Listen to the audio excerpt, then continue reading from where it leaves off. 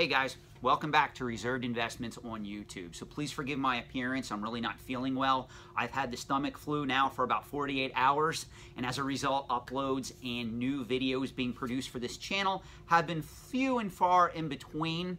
Um, I will have some content coming over the next week, so please watch for it.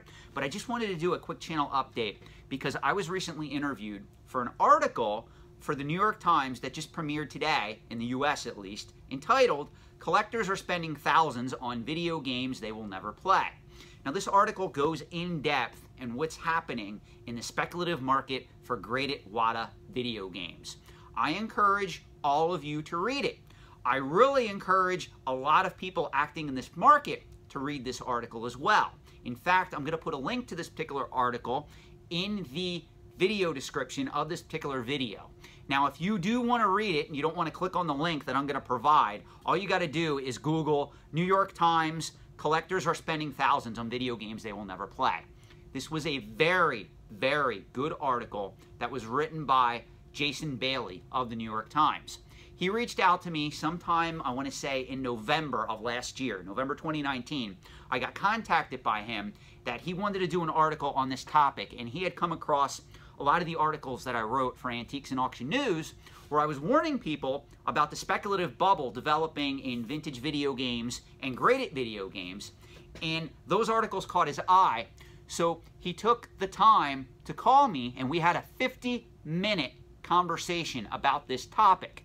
Now, if you read this article, you're going to notice that literally only three sentences from that conversation were chosen to be quoted in this particular piece, which I expected. Because let's be honest, you may have a 50 or a 60 or a two hour long conversation with somebody. You're not going to be able to write a what, 1200, 1800 word article and put everything that you spoke about with that person in that particular piece. Now, to be fair to Jason, Jason did an excellent job showing all the different viewpoints on this particular topic. There's not only guys like me in this particular article who are the quote unquote contrarians, he also interviewed a lot of collectors, even dealers. Now, the one thing that I will say, and I'm not going to touch on this too much in this particular video, I would caution anybody out there who's entering the antiques and collectibles trade with a financial mindset in tow to trust a quote unquote traditional dealer to tell you where you should put your money, financially speaking, long term, when it's invested in the antiques and collectibles trade. Most dealers have a bias. Whether or not you realize that, or even if you disagree with that principle, that is the truth. Every dealer I know has a subconscious bias in the antiques and collectibles trade. Now, there's a lot of people out there that will disagree with me. I'm sure this video may anger some people out there for me having that particular take on the market as a whole, but it's the truth. It's just like auction houses, guys. I've said this before. Auction houses, by promoting their products, are not doing anything wrong. The problem is there's a thin line between advertising and market manipulation. And we already have WATA that has crossed that line several times, where I consider some of their conduct in the secondary market to be a little unethical, in my opinion. Other people can disagree with that assessment. I can tell you there's going to be other people that are better versed, even better than me, in the antiques and collectibles trade, who are going to be commenting on this topic as a whole in the near future. So I'm going to reserve that argument for when those particular individuals start commenting on this topic as well. Then I can kind of do a video where I point out the articles that they've written and also compare it to my feedback and commentary of what I've been saying all along. Those of you that really think, though, that this market is not overblown at present time, I encourage you to please read this article.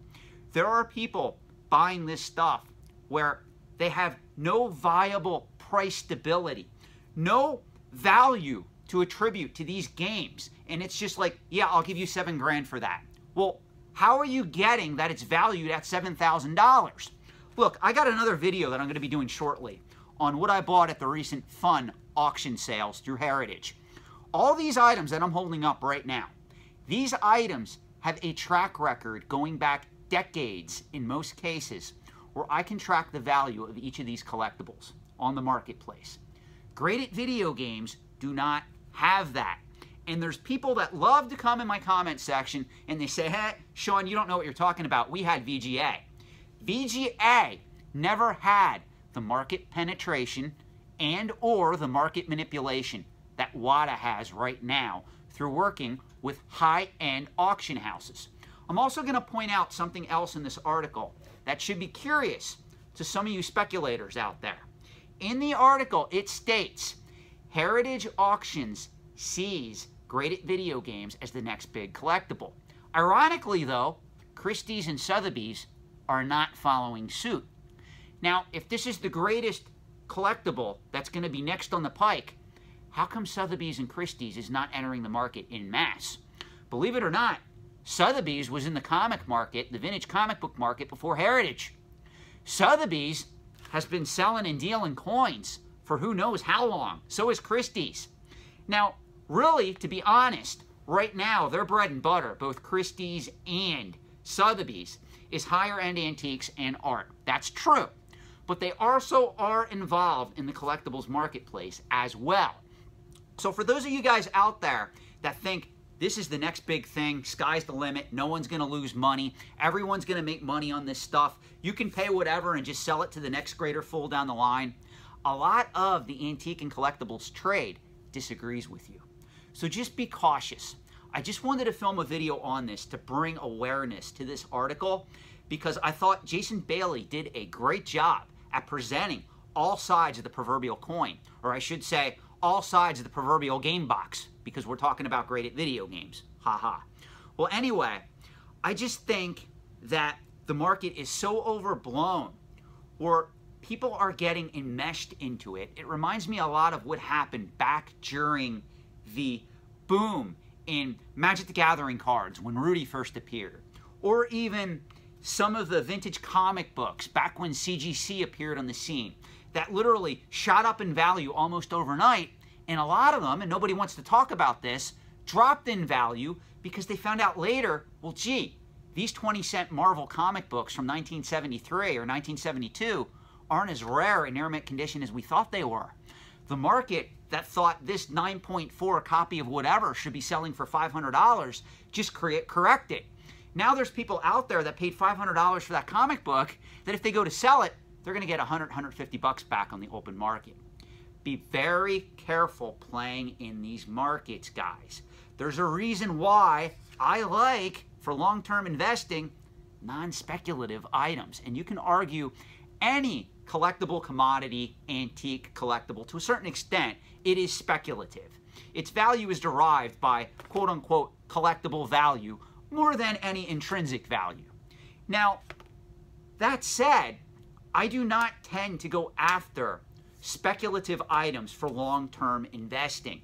I'm not touching graded video games with a time horizon of 10 or 20 years. It's not going to work out for most people.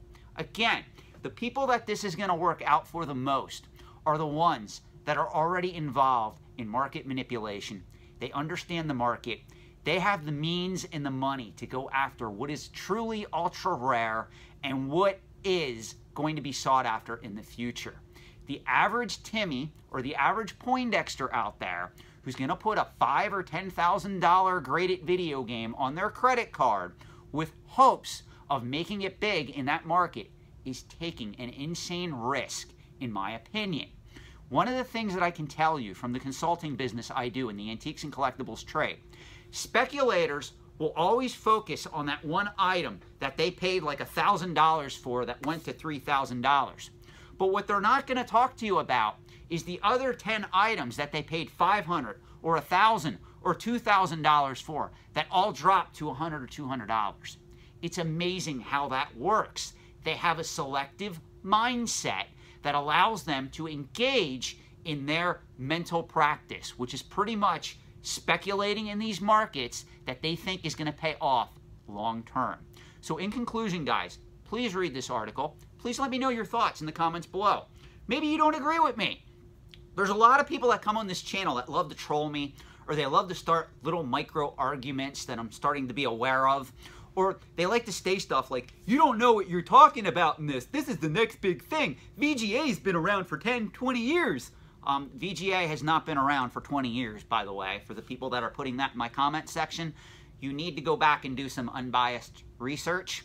And you also have to understand that VGA, as much as I respect them, they're a part of AFA, no problems with neither company, they're very reputable. They did not have the market penetration that WATA Games now has. So just keep that in mind when you're navigating this market. I want to know your thoughts on this particular article, though. Who in this particular piece do you think is wrong? Who do you think is correct? And who do you agree with or disagree with? Please let me know in the comment section below. Thanks, guys, and have a good night.